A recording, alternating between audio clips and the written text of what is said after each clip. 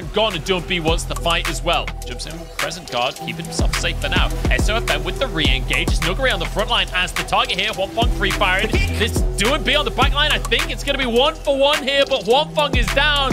Doinb with a double kill, and he wants a little bit more on top of it. SOFM chased down for the hat trick, and now Bin finds himself alone with just a pair of scissors. And I tell you, you cannot run with those. A quadra kill for Doinb, and that might just be game. What's up, everyone? I'm Captain Flowers, and I want to welcome you back to the Outplay by Play. Last episode, we took a trip to the Church of Chovy and broke down the star mid laner's first ever pentakill in pro play. This time around, we're heading over to the LPL, where Doinb and the gang have been on an absolute tear with the star mid laner in World Championship form. Now let's take a look into FPX's clinical performance over Suning as they flex their muscles in another masterclass victory. Now, before we get into the final moments, let's take a look at both teams' drafts. What's important to note here is the nearly identical team compositions on each side. Both teams opt for aggressive early junglers in Lee Sin and Xin Zhao. Weak side bot laners with defensive supports and late game hyper carries are the name of the game, while roaming mid laners look to navigate the map and find picks wherever they can. On the top side, it's a rematch of the 2020 World Finals between Bin, who's looking to snowball on Gwen, and Nuguri, who's there to shut down and pummel any chance of a Gwen carry into the ground. As the game kicked off, it was a slow start for Qian, who found himself in an early deficit. SOFM took control of the jungle with aggressive invades to put the Lee Sin behind. But just shortly after, it's Qian who's laughing as FPX work together to catch the Suning jungler out in the river and go on to secure the first objective of the game. What's important to note here is FPX's poise and playstyle in comparison to many other teams and regions. Despite their jungler falling behind early on, their ability to control objectives as a unit and build their lead bit by bit while navigating the map is unparalleled. Eight minutes in, we see exactly that. After Suning decides to go for the Rift Herald, watch four members of FPX who all begin to collapse on the objective. Despite the fact that Suning killed off good old Shelly, they're ultimately denied the eye with the FPX cavalry arriving. At the same time, Doinb, who has already got a kill to his name, finds a lingering on to delete him, and FPX walk out with a kill, and Suning get nothing for it. Just two minutes later, it's Doinb once again who finds another kill, this time with the help of Qian as they make quick work of SOFM. Crisp, on the other hand, well, he hasn't missed a beat, despite just recently returning to the starting lineup, nearly gifting this kill onto LWX. As the game went on, FPX played their game to a T, building their lead slowly but surely and controlling every aspect of the game. 20 minutes in, with all tier 1 turrets destroyed to just the two destroyed by Suning, and sitting on three Drakes, FPX are sitting pretty in the driver's seat. It also helps to have a fed super carry in Doinb, who will be a problem to say the least. It's at this stage that FPX are faced with two scenarios with Baron in play and Soul just around the corner. Either start Baron now and risk a smite steal or a botch team fight and lose both objectives, or stack the odds against Suning and play for Infernal Soul, which is arguably more important because even if the Drake is stolen, FPX can win the fight and get Baron off the back of it. And so, as both teams begin to set up around the Dragon Pit, it's Qian who gets caught out after trying to make a play with Doinb, but is ultimately traded with the star mid laner finding his fifth kill of the game.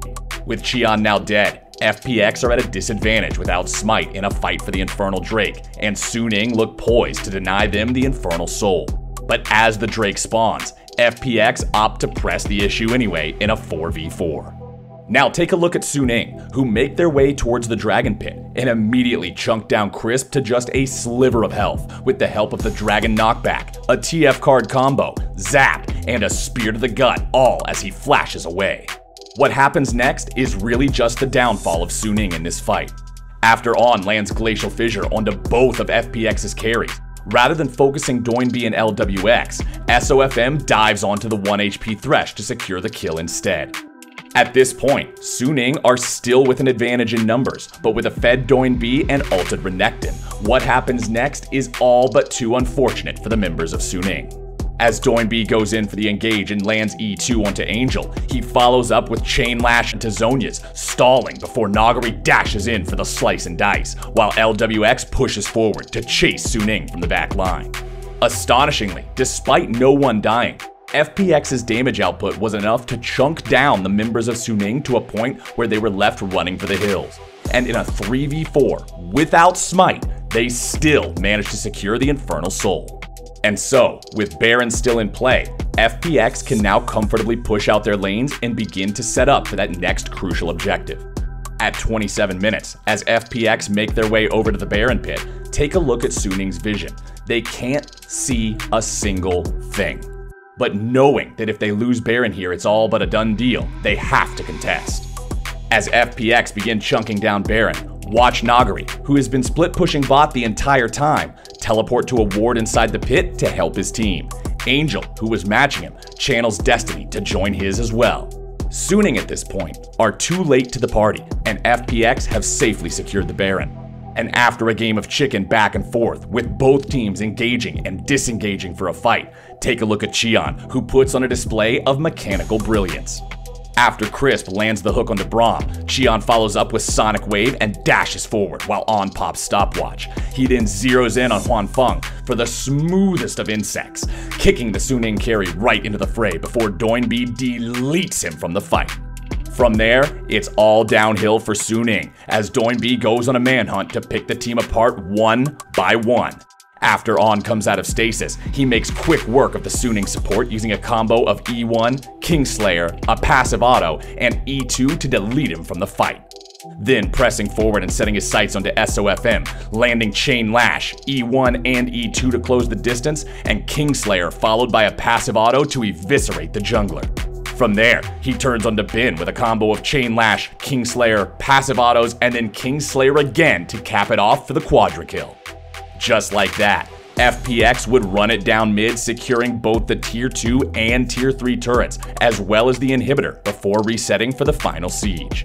And with Baron empowered super minions and Doinb, who's accounted for 9 out of 10 of his team's kills, it really was just a relaxing stroll down the mid lane as FPX go for the back door, through the front door to end the game.